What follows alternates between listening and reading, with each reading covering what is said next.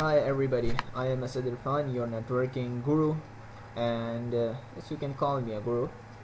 And today I will be simulating uh, bus topology that will uh, you use uh, CSMACD to implement an ethernet network. And the number of nodes will be almost 20 or uh, whatever you want to simulate on that. So it's really cold here today.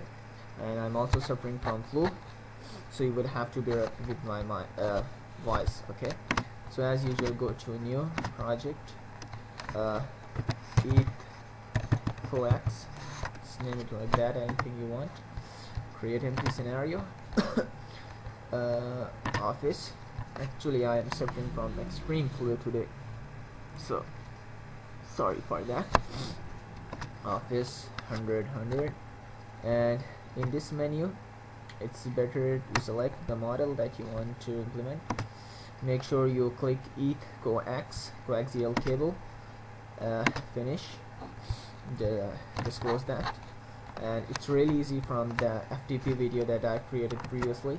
So you have to go to topology random configuration next and ETH station. In the link model ETH coax the number should be set to 20 tap tap basically uh, actually I'm will uh, sharing this node from where I learned this. So what is a tap? The ETH tap is an ethernet bus uh, tap that connects a node with the bus. So this is what it is. So click OK now click on this link here. Click right click here. Click attributes. Uh, click advanced. Uh, in the advanced you need to set delay. I'm gonna set that to 0.05 and the thickness of the line should be set to 5 and like that click OK. Okay now click on this node. Select similar nodes click attributes. Now I need to change some configure okay now I have to select the traffic generation type. Now I'm gonna select skip that exponential. Now I should go for Poisson actually you can go with exponential and Poisson but let me see where is Poisson. So hmm, it's not present here. Oh yeah here it is.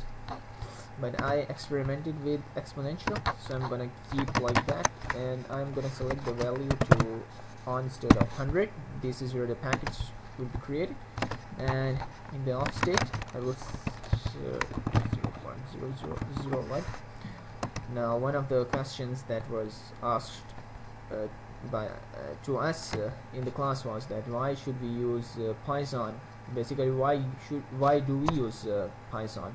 So one of the reasons that I personally found and that is based on my uh, previous knowledge of probability that Python is used when we are working with events that are not dependent upon each other so we have random events and uh, those events are not dependent upon each other. Like they are in independent of each other. So those even those such type of so the occurrence of those events in a particular amount of time can be modeled using Poisson. So this is what basically a Poisson is. So if you compare that with the computer networks you can see that events of traffic are first of all random and they don't depend upon each other. So in and the and specific amount of time. It's 24 hours. So in that case we can use Poisson. Click uh, OK. Now I need to go to so the reason is that uh, uh, like uh, it has been used like Poisson has been used widely because it models your traffic model very efficiently when it comes to computer networks so you need to go now to choose individual statistics go to global statistics traffic source number of packets uh, just give packets per second click ok. Now you need to go to desk choose uh, statistics advanced here I got edit attribute now I want to need some scalar data and time average. Apply similarly I will do the same here. Attribute scalar data enable time average. Okay. And uh, save. One of the things that which attributes. I did not apply to selected objects. And traffic generation. Okay. Apply to selected objects. Let me check whether I apply it on all of them or not. Just wait a second. Yeah. Apply to selected objects. Here I made a mistake. So I forgot to click that option. That's why I'm just correcting that so 0 point you need to set that in the first stage when I open that window. Okay. Okay. Okay. Now you need to go to this. Now you need to go here. Which is for 30 seconds. Let me see what happens. So something has happened. Click okay. Sorry once again.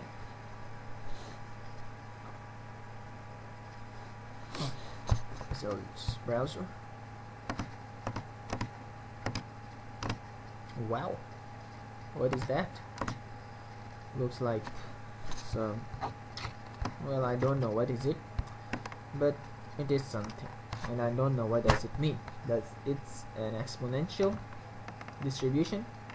And when do we use exponential distribution? So that's the important question.